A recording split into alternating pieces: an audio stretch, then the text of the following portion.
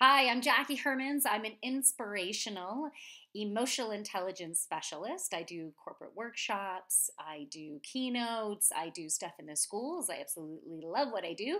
And today I'm talking to you with my May 2014 newsletter. I just came back from a run. Excuse my disheveled uh, look, but I was really inspired to do my newsletter via a video blog this time.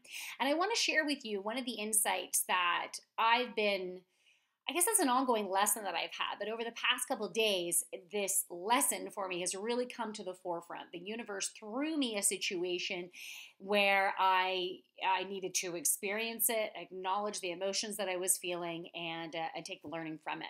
So that's what I'm going to share with you today, and see what I want you to do is see how this might resonate with you in your own life, and it might resonate in a, in a different way. Uh, and also, at the end of this video blog, I'm also going to share with you my women's circle that's happening this Sunday, and I have a new topic. I changed the topic because I was really inspired, and I thought, no, this is exactly what we need this coming Sunday. So stay tuned for that message as well. So, this insight that uh, I had, the experience that I had, is related to listening to my own intuition. Uh, and this could, you could also relate this just to trusting the decisions that you make. So I have a very strong intuition. I get I get channeled messages, messages for myself, messages for other people, and there's other individuals out there who are also really good at downloading information. Uh, you might find, you might agree, it's kind of easier to be able to disseminate information to other people as opposed to taking on for yourself. And the reason why that is, is because we have egos, and our egos can put us into turmoil. And, uh, you know, to put it into scientific terms, we have that reptilian brain, and when emotions come up, and, and it's associated, the reptilian brain, the brainstem is associated with the, the amygdala, and it can hijack us. And when we get into that hijack, we the thinking part of our brain, the prefrontal cortex is, is turned off. So you, you lose brain power there, and you can make decisions based on the emotions that are coming up. So that's why we can have uh, some issues here.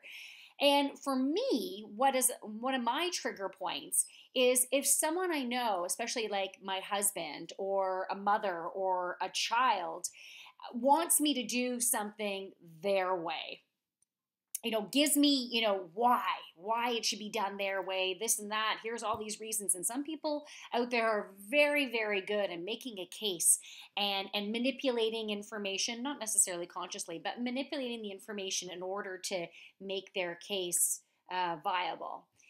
And uh, and you know, sometimes just to take a little brief interlude here, you know, I'm always open to what other people want to share with me because sometimes there's beautiful tidbits in there, beautiful insights, beautiful lessons, and I want to be ready for that.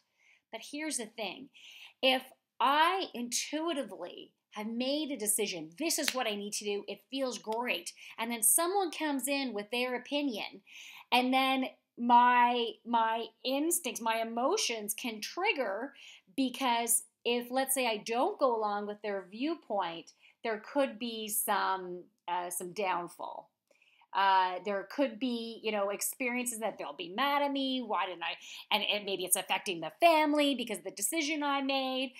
And so it can be really difficult. I find it very difficult at times to stick within my own power. And that's what happened over the weekend. I was, and this is a very simple experience that, you know, I'm sure you can relate it in your own way.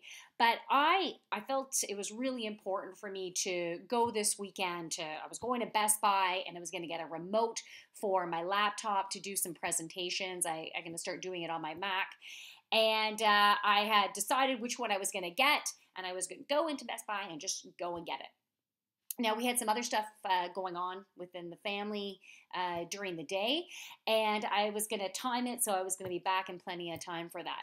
But then um, my my husband came into the picture, and he, he's a wonderful guy, and he just wants things to, to work out efficiently. You know, why do extra chip trips uh, to waste gas? And that's the logical side that came out within him is okay, you know, why are you going now to do that? Isn't there another time will you be near the Best Buy so you can go and get it at that time? Why can't I, how about I pick it up next week?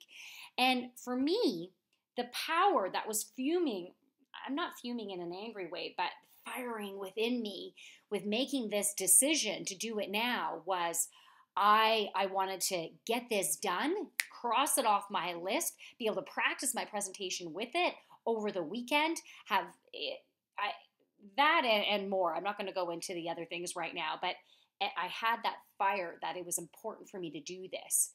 Uh, I stopped when he was giving me his, his point of view. I succumbed to what he had wanted me to do because of the, uh, I guess it was the fear of, let's say, the pain that would come. I don't know if you're familiar with, there's a plain pleasure, pain and pleasure theory that has been around for eons. And uh, basically, our instinctual uh, reptilian brain um, mode is to make a decision where there'd be less pain. So that's what I did. I took the decision that was less pain. I did more research.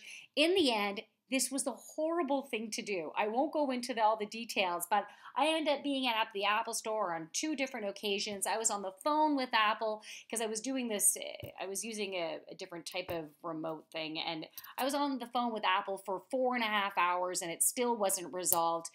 And I even had a dream this morning that was giving me a very clear message. You know what? Sometimes the decisions that you know are right for you, other people will think are totally illogical, totally ridiculous. This is crazy. Why would you do it that way? But I knew I had that that fire within me that knew that that was the right choice for me. And today I went out and I got it. I got the remote that I was going to get in the first place. I put it all in. It worked brilliantly. It was seamless. And that was the route that I should have taken. However, I'm so glad it all unfolded in this way because I needed to have this learning. Because this this is not the, the first and last time that this is going to happen. There's going to be many instances where people are going to give me their opinion, which is great. And sometimes it will be a brilliant piece of information, as I said, and other times I need to stick within my power, no matter what the pain, the outcome might be, and make those difficult choices sometimes. So that is my insight for today, and I hope you enjoyed it. So, my Women's Circle.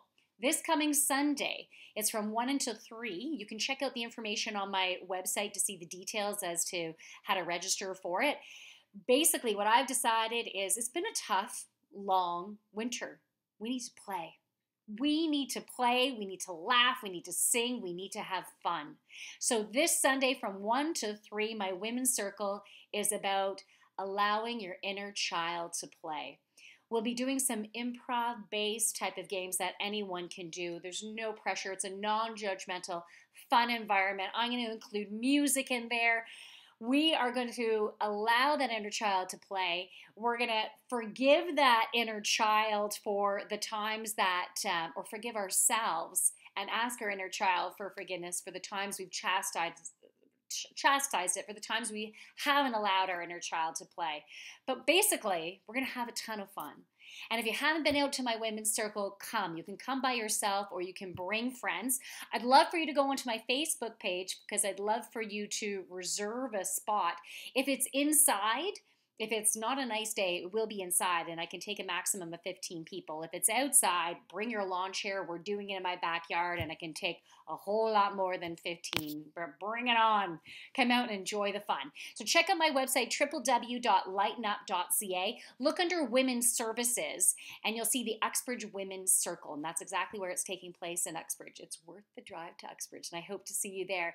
I'm Jacquie Hermans helping you to lighten up from the inside out. Thanks for watching.